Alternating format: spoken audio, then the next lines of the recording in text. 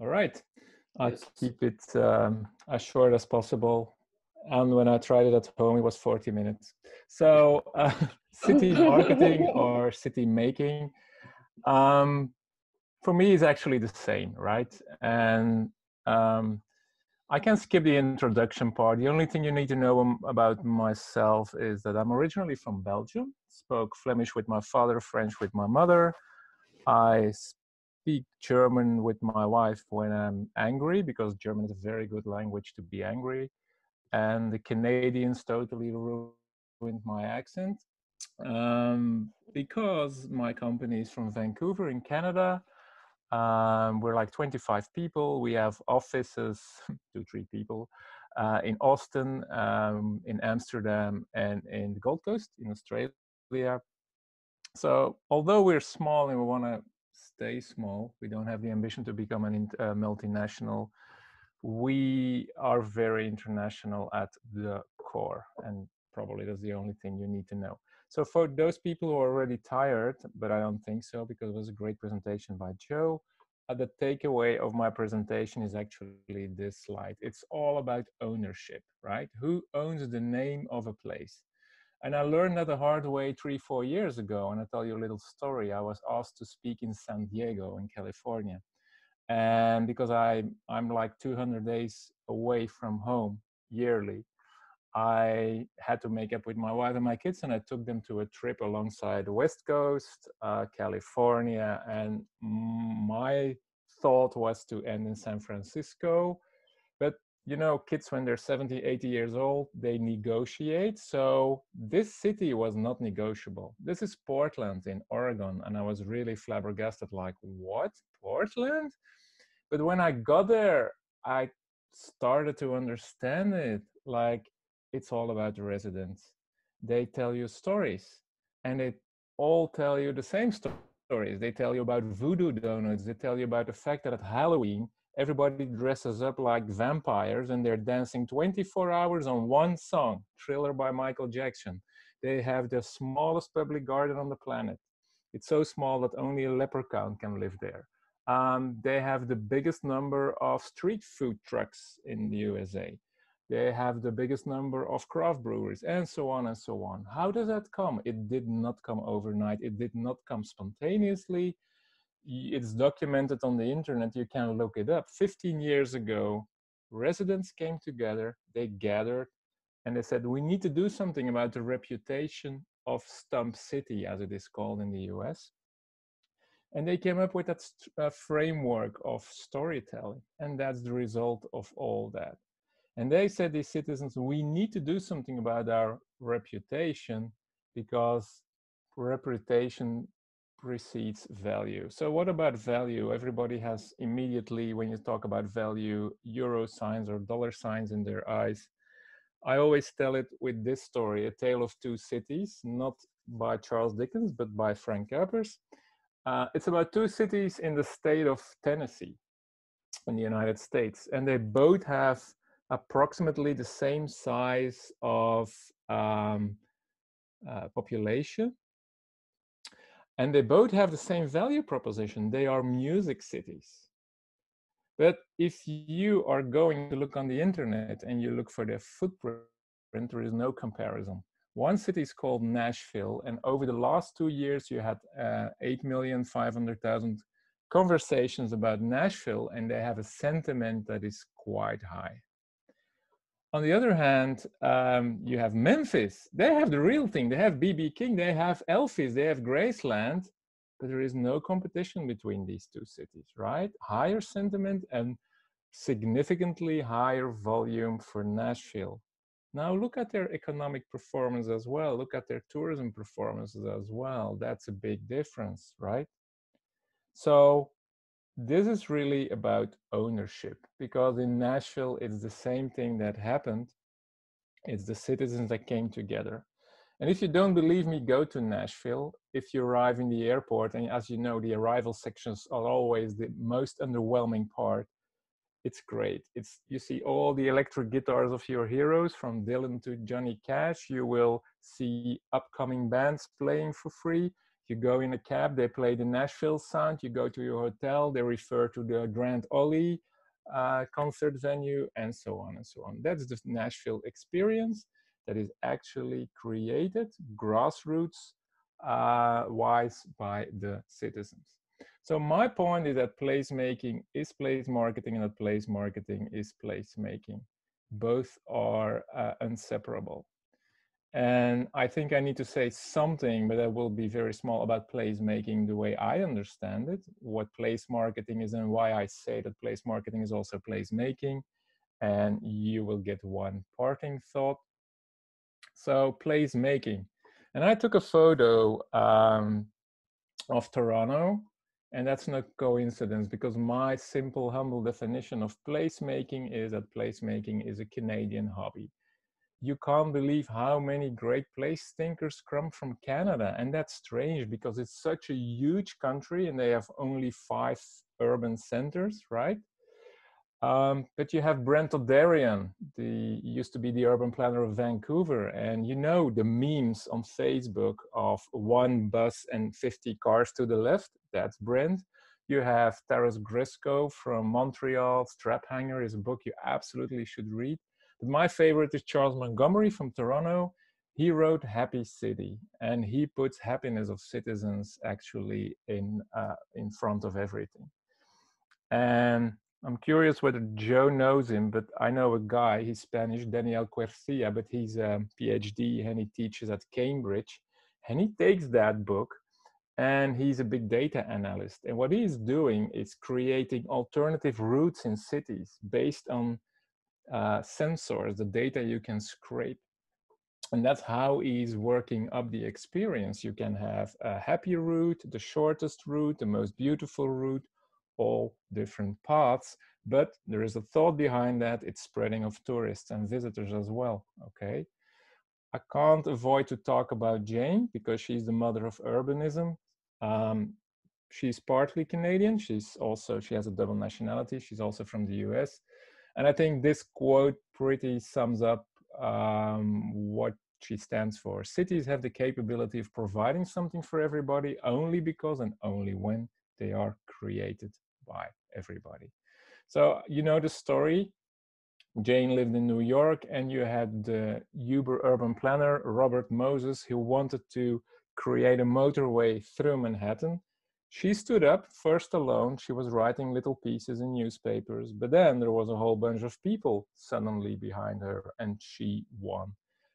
It's actually Jane Jacobs who launched the um, famous expression, the urban village, which is the living part of a city.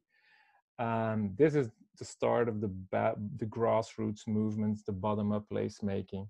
And Moses, of course, is the symbol of top-down placemaking. I seriously think you can't have development in a city anymore without at least having the two. So like Joe already said, if we think about placemaking, we think immediately about the physical space design. This is a cool example um, on uh, Times Square in New York. But of course, like she explained also, there is a lot of, um, and people forget about that. There is a lot of placemaking uh, online as well. Um, to give you another example, I help and advise a company called PlaceSpeak in Vancouver, and it's all about consultations of citizens when authorities are gonna um, launch a new project or there are new investments, and they use that software as well, which is great. So there's a lot of great things to say, but there's also a warning. And I had to speak a few years ago at a Congress. I was a keynote. Oh, I was so proud. There were 100 people in my room there was another keynote and there were 4,000 people in his room. And he's, he was the former mayor of New York, Mike Bloomberg. And Bloomberg tells the story that when he was a mayor of New York, he has a bunch of scholars and, and scientists from Harvard and Yale, and they say, Mike, we need to do something about traffic congestion in Manhattan. Because because of the um, congestion because of the traffic jams, there are a lot of um, incidents, accidents, people are injured, and some casualties. So they say, if you could ask Google to tweak the algorithm of Google Maps slightly, let's say 20% randomizing, then people also go to the left and we will have less congestion, less incidents, less problems.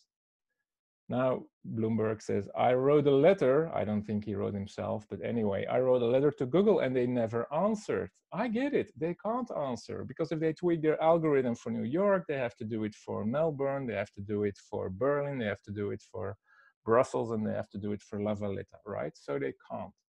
And then Mike Bloomberg, and he's not, not actually a socialist, he is shouting in that room, how does it feel that a private company of the West Coast is deciding how we are moving in the major city of the East Coast.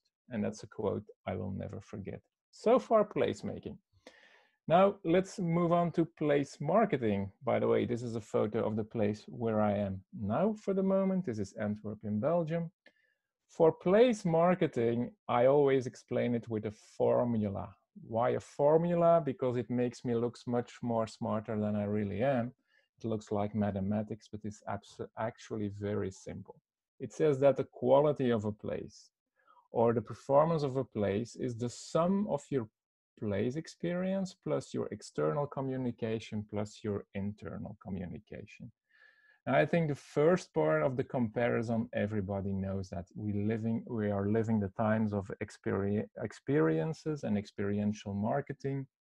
I think most of you have heard about Pine and Gilmore. I'm not gonna explain this model. I'm gonna jump to the next slide. Um, that's what I do for a living, for instance, right? I tried to change minds. minds. Um, that's what I did in Ottawa, the capital of Canada and they're always like, we have to sell Ottawa, right? Or Ottawa, like they say in English. And I'm not, no. Because if you are serious about experiences, this is just a commodity. Commodity means it's undifferentiated, so there is lower attraction, there is lower money coming to your place. What you need to do is you need to sell products like rafting. Okay, Frank, but rafting is not typical Ottawa and it's a Canadian thing. Right, but you're the only city where you can do rafting. Wow, that's cool. People will be more attracted if there is a service uh, involved. And Ottawa um, attracts a lot of city trippers and city hoppers. So there are crash courses for people, urban people like me, in half a day. They learn you how to raft or someone accompanies you. But then the experience is that Ottawa is the only G7 capital in the world where you can do rafting in front of Parliament Hill. And if you're lucky, Justin Trudeau will do his daily jogging and wave his hand to you. So I think you get that right. Word of mouth is driven by good experiences or bad experiences. Now, the external communications, and here start all my tourism people to saliva because that's what they think that marketing is. We seem to have forgotten that marketing actually is about strategy, it's about development, it's about pricing. But anyway, people love their promotion. Um, I'm not a big fan of all these campaigns. I think they are good in copycatting. Um, when I give my students in New York like 50 brand activation videos, um, they beg me after five or six, please, Frank, stop. It's all interchangeable. But there are also good examples. And I think there is a place for promotion, but it comes at the end of your marketing chain, right? Start with the head, the strategy. Don't start with the tail, your promotion. I think Greenland did something very cool because this is not only promoting, it's also kind of developing even why Greenland may not be for you. This is about segmentation, right? People who read that, they start thinking, why could Greenland maybe not for me? And as you all know, Greenland, very, very vulnerable place, 30,000 people. So if they have too many tourists, they will be trampled. But you can do it also in another way. It's not only about campaigns and posters and billboards and online. Um, for instance, this is something what my company did. This is not a city, this is a state. It's called Colorado, and that was their old map. Not a lot fantasy here. Northwest, southwest, southeast, northeast. That's how they call the counties. So we rebaptized these counties. And now every county at least has in the core a sort of um, primary experience that they express. How did we do that? Well, our team was burned to the ground because we did like 26 workshops and we need to do them again. Um, but it really pays off, right? It really pays off to invest and take people seriously and give them feedback, what has been done with their input during these workshops. That's not the only thing we did, of course. Um, there's a lot of other uh, research techniques we used, but this is the final result. And the last one is really bringing placemaking into place marketing, internal communication. This is die-hard permission marketing. Ask permission to your citizens what you can say to the world. Um, this is a strategy written by Signe Jungersted of Copenhagen, and I was coaching her. I was in the back involved in this strategy. I need to re-explain it all the time in America because I think we're closing all the borders in Europe before COVID.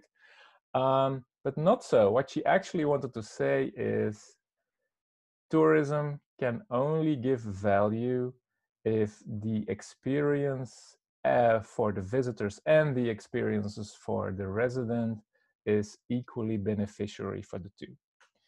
So that is fair. It's about harmony, balancing between the, the local people and the visitors. Um, she also launched a new word, which is the localhood. And we're now 50 minutes. And hey, this is my last slide. This is another case study. Um, I could pick a lot of things we do. We co-create almost everything with citizens. If it's online, if it's uh, promotion, if it's uh, development, this is, uh, is a strategy, but this is a research project. And I call it the Place DNA report. And this is really an eye-opener for many places on the planet. It's quite successful. The word DNA, although, is misunderstood. The only thing it wants to say is the DNA is what do people of La Valletta talk about when they refer to La Valletta? What do people from Auckland talk about when they speak about talk, um, Auckland? So it's a sort of self-perceived image of the population. Um, that's something we do with uh, quantitative research, like a very classic survey, but also at least five workshops co-creation with citizens. Then we confront that with what is the world saying about you? That's the perceived city. And what are you telling to the world? There we have a deeper dive in the main communication channels of a place, uh, who are the main communicators and so on. Now you can understand the smaller this intersection is, the weaker your reputation. And citizens totally get it. And this project, this methodology is actually born out of my personal uh, frustration because I used to work uh, as a strategist for a long time and I was writing all these plans, I was writing all these strategies. And then I um, worked also three, four years as a policy advisor. And then I understood what is happening with all these plans. They just end in the drawer of a CEO, of a politician. That's something only with this we could change. Like in Calgary, I ended with the mayor of Calgary. In Ottawa, I ended with the mayor of Calgary. How comes? Because there is a buzz going on. It's a grassroots kind of research, and people are enthused. They are taken seriously and there is a sort of push bottom up and then a politician will react. So that's the way we do it. There is much more to talk about um, i love to talk about covid as well but i leave it to one last thought and if you allow me i do it in my other national language. My favorite quote ever is from the french philosopher michel foucault who once wrote vivre à la proximité pour devenir citoyen du monde in English, you need to know your own neighborhood before you call yourself a world citizen. And I think that is very, very true. All placemaking, all place marketing should be permission making and permission marketing. I leave it to that. Thank you.